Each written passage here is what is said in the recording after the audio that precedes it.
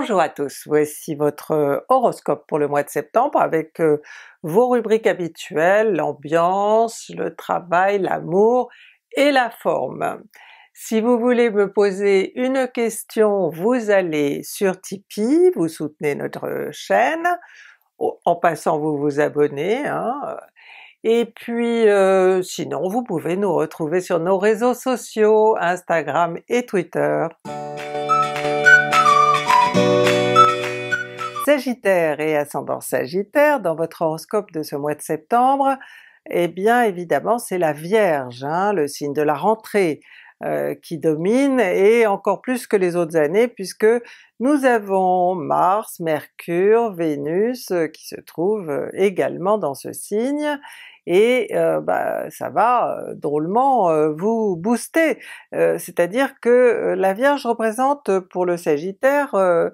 euh, la carrière, hein, euh, je veux dire les, vraiment les choses importantes euh, que vous faites dans votre vie, et en général le travail est quand même quelque chose d'important, et en plus de ça c'est le signe attribué au travail, donc il domine votre thème. Hein. ce qui va se passer c'est qu'il y a des aspects un petit peu compliqués, euh, surtout la semaine du 7, vous verrez si vous êtes du deuxième décor, mais je vous engage à euh, regarder la vidéo euh, de la semaine, hein, la vidéo concernant la semaine du 7, parce que vous aurez évidemment beaucoup plus de détails. Mais bon, c'est vrai que vous serez peut-être un petit peu dans l'incertitude par rapport à un job, vous saurez pas si vous allez y rester, en partir, euh, euh, surtout euh, s'il vous plaît ne faites rien d'impulsif, réfléchissez bien aux conséquences des décisions que vous pourriez prendre, hein, parce qu'il y a quand même une conjonction du soleil et de Mars en Vierge, et on sait que Mars est une planète qui, qui accentue l'impulsivité, euh, et comme vous êtes un signe de feu, que vous êtes déjà impulsif euh, de naissance, eh bien ça ne peut qu'être euh, davantage, hein, avec une notion d'instabilité aussi, hein, vous ne vous sentirez pas ni stable ni en sécurité, mais bon ça va durer deux trois jours, c'est pas du tout quelque chose qui va s'installer étant donné que les planètes sont rapides fort heureusement, et qu'en plus de ça beaucoup sont rétrogrades, donc si ça tombe, euh, vous en aurez vraiment des échos euh, parfois euh, assez lointains, donc ne vous prenez pas la tête hein, du tout là-dessus. D'autant plus que succédera à la Vierge la Balance, qui est votre signe d'espoir, de projet, d'ouverture sur les autres, d'amitié, enfin voyez tous des domaines euh, que euh, vous aimez beaucoup et qui seront donc mis au premier plan avec l'arrivée des planètes, le soleil et puis les autres aussi euh, dans, en balance. Ce sera une des bonnes périodes de votre année, étant donné que votre planète Jupiter sera directe, et donc bon, les promesses qu'elle a pu vous faire seront tenues. Côté travail, eh bien on se penche euh, sur Mercure qui est elle aussi en Vierge euh, jusqu'au 14, et puis en Balance par la suite. Alors vous voyez, il y a de l'espoir aussi, euh, parce que Mercure en Vierge, ça va pas forcément être formidable, parce qu'on va vous donner beaucoup de travail, on vous, vous n'aurez pas de délai, on vous imposera euh, un temps euh, de, de euh, je veux dire un, comment on appelle ça, une deadline, vous voyez, un, un, moment où vous serez obligé de rendre votre travail, qu'il soit terminé ou pas. Euh, donc vous, vous, il y en aura beaucoup qui se mettront la pression hein, pour, pour faire ce travail. Après, euh, il n'est pas exclu que vous ayez un important rendez-vous avec un, un dirigeant quelqu'un qui décide en tout cas, et euh, bon, euh, lors de ce rendez-vous, il faudra que vous fassiez très attention à ne pas euh, trop vous vanter de vos succès tout en étant comme en, mettant l'autre face au fait que vous êtes quelqu'un qui réussit, hein? donc ça c'est vrai que c'est important de le dire, mais faut pas non plus trop insister, être trop lourd. Or avec Mercure en Vierge dans votre secteur de carrière, vous aurez tendance à être un petit peu un petit peu lourd. Donc après le 14, la planète sera en Balance et là, bah, vous serez libéré hein, de toutes les obligations que vous imposait Mercure en Vierge. disons que vous regarderez, vous serez plus le nez dans le guidon comme vous étiez, mais vous pourrez regarder plus loin, faire des projets, avoir des idées, les, les essayer, les, voir si ça marche ou pas. Et puis il y a l'entraide, la solidarité qui seront aussi au premier plan, vous en bénéficierez ou alors vous en, ferez bénéficier certains de vos proches ou amis, parce que vous êtes comme ça, vous aimez les retours, vous aimez aider et bon si besoin est qu'on vous rende l'appareil. Hein. Bon cela dit, on est tous comme ça, hein, on n'aime pas l'ingratitude chez les autres. Euh, mais bon, avec les aspects de ce mois-ci, euh, je suis pas sûre que vous aurez beaucoup de gratitude, euh, à mon avis il y aura plus d'ingratitude pour certains d'entre vous. En ce qui concerne vos amours, bon, bah, c'est Vénus, hein, la maîtresse de vos amours, et elle, bah, elle fait pareil que Mercure, elle va d'abord se trouver en Vierge, et ensuite elle va se trouver en Balance à la même date, hein, le 14. Donc euh, une Vénus en Vierge, c'est vraiment pas une sinécure, elle, elle est trop cérébrale, trop dans le contrôle, surtout pour vous, et donc euh, bah, vous ne laisserez rien transparaître, hein, vous ne serez pas du tout euh, dans la volonté de montrer vos sentiments ou,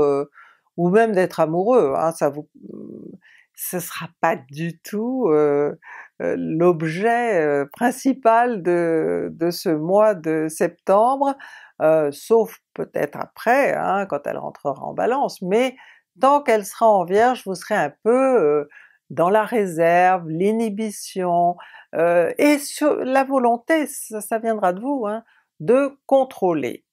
Maintenant, autre interprétation possible, Vénus étant au, zénith euh, de votre thème, vous pouvez avoir à vous occuper d'un parent, ou revoir un parent que vous n'avez pas vu depuis longtemps, et vous en serez plutôt euh, hein, satisfait. Après le 14, donc Vénus sera en Balance, et là, bon, comme pour le, reste, hein, ce sera un peu une libération, c'est-à-dire que euh, vous laisserez vos sentiments euh, s'exprimer, des sentiments amicaux la plupart du temps, mais bon, par exemple si vous démarrez une relation amoureuse euh, par une amitié, eh bien vous aurez, je le dis souvent, les meilleures bases hein, pour construire quelque chose. Donc je vous conseille de privilégier vraiment l'amitié ce mois-ci, et même si vous êtes marié, avec quelqu'un ou en concubinage, hein, ça n'a pas d'importance, si vous vivez à deux, eh bien privilégiez tout ce qui peut être affinité, centre d'intérêt en commun, bref tout ce qui vient de l'extérieur et qui peut vous rapprocher, hein, parce que avec Vénus en Balance vous allez forcément vous rapprocher, et même peut-être d'organiser des, petites fêtes, des dîners entre amis, des sorties, tout ça va jouer un rôle important, enfin un rôle important, tout ça va vous pousser à vous rapprocher de l'autre. On termine avec,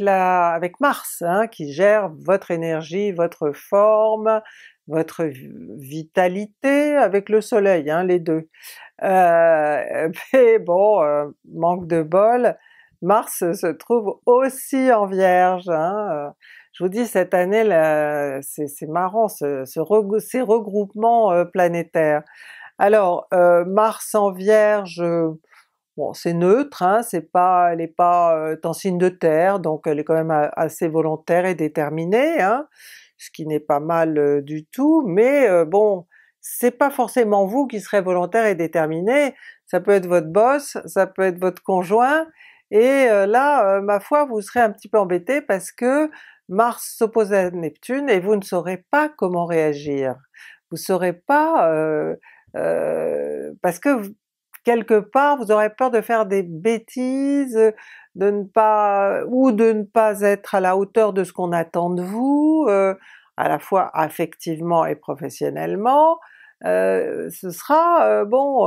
au niveau de vos activités, ce sera un petit peu compliqué, hein. et encore une fois la semaine du 7, hein. donc de nouveau je vous incite à aller voir la vidéo de, de la semaine. Euh, en ce qui concerne votre santé et votre forme, euh, bah, Mars en Vierge euh, marche à l'économie, hein, c'est-à-dire que vous avez intérêt à vous économiser ce mois-ci, d'autant plus que son opposition à Neptune peut euh, peut, attraper quelque chose, avoir une infection quelque part, et je vous engage, s'il y a un début d'infection, à vous dépêcher de la soigner, parce que avec Mars-Neptune ça risque de s'étendre, hein, ça risque de mmh, d'aller plus loin que vous ne le pensiez. Donc ne laissez aucune petite infection euh, prendre euh, euh, de l'importance, et méfiez-vous aussi finalement de personnages qui pourraient être toxiques, hein, euh, donc là on a une autre forme d'infection. Euh, quand on a affaire à quelqu'un de toxique, il vous infecte aussi euh, parce qu'il veut avoir le pouvoir sur vous. Je dis pas que c'est ce qui va se passer, mais certains d'entre vous pourraient être dans ce dans un, une situation, une ambiance de, ce, de ce genre, et dans ces cas-là, il n'y a qu'une chose à faire, hein il faut prendre la fuite le plus vite possible. On se retrouve le mois prochain, d'accord? D'ici là, si vous voulez euh, encore plus de détails, vous allez euh, sur euh, rtl.fr, sur le site du Figaro TV Magazine, ou alors vous pouvez aussi appeler la ligne de RTL, le 3210. Et je vous souhaite un excellent mois de septembre, une belle rentrée!